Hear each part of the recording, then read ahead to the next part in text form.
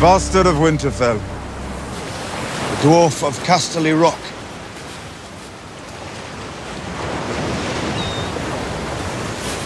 I believe we lost each other atop the wall. You were pissing off the edge, if I remember right. Picked up some scars along the road. It's been a long road. But we're both still here. I'm Tyrion Lannister. Davos Seaworth. Ah, the Onion Knight. We fought on opposite sides at the Battle of Blackwater Bay. Unluckily for me. And Sandy is the Queen's most trusted advisor. Welcome to Dragonstone. Our Queen knows this is a long journey. She appreciates the efforts you have made on her behalf. If you wouldn't mind handing over your weapons.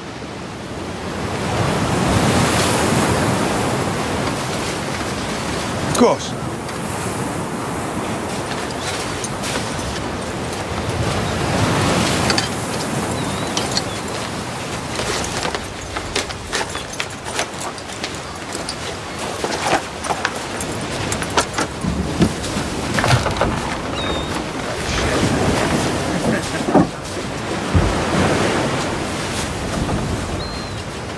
Please, this way.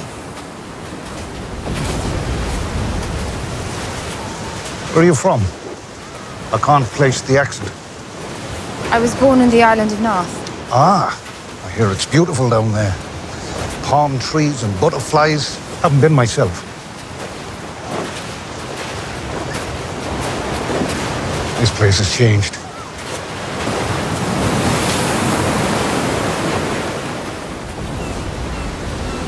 And Sansa. I hear she's alive and well. She is. Does she miss me terribly? A sham marriage.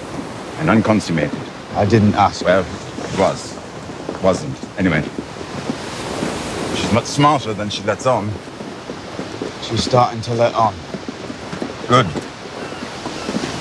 At some point, I want to hear how a Night's Watch recruit became king in the North. As long as you tell me how a Lannister became hand to Daenerys Targaryen. Long and bloody tale. To be honest, I was drunk for most of it. My bannermen think I'm a fool for coming in. Of course they do. If I was your hand, I would have advised against it. General rule of thumb. Stark men don't fare well when they travel south. True. But I'm not a Stark.